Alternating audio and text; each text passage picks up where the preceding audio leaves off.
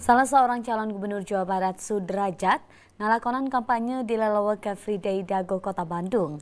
Sejauh itu salah seorang calon gubernur Jawa Barat Sejena TB Hasanuddin ngadeg ke tempat pelatihan Banser Anu Pernana di Lelawak Ujung Berung Bandung.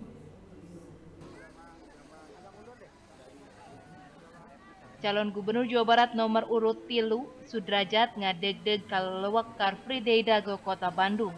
Eta Cagup anu dirojong ku PKS Gerindra jeng Pante babarengan jeng warga Ici Kibung di namang pirang kagiatan anu dikokolakeun di lelewak CF di Dago dimimiti senam tapi joget babarengan jeng warga. Kita harus betul-betul membina kesehatan masyarakat dan Car Free Day juga salah satu sarana untuk membina kesehatan masyarakat. Sajeroning itu calon gubernur TB Hasanuddin ngajuk ke tempat pelatihan Banser di Lelewak Ujung Berung Bandung. Eta calon gubernur TB Hasanuddin teh dipapag ku takbir timang pirang warga. Saya ini kan balat cadangan sebagai mantan prajurit TNI. Saya nanti akan menjadi bagian dari mereka. Terlepas dari urusan calon gubernur atau bukan calon gubernur.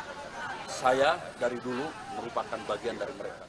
Pilkada Jawa Barat diiluan ku opal pasangan calon gubernur jeung calon wakil gubernur Jawa Barat. Di antarana pasangan calon nomor urut hiji Ridwan Kamil UU Ruzanul Ulum, anu dirojong ku Partai Nasdem, Hanura, PPP, Turta PKB.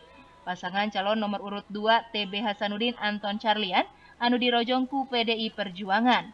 Pasangan calon nomor urut tilu Sudrajat Ahmad Saiku, anu dirojong ku PKS Gerindra Turtapan, sarta pasangan calon nomor urut 4 Dedi Mizwar Dedi Mulyadi anu dirojong ku Partai Golkar jeung Partai Demokrat.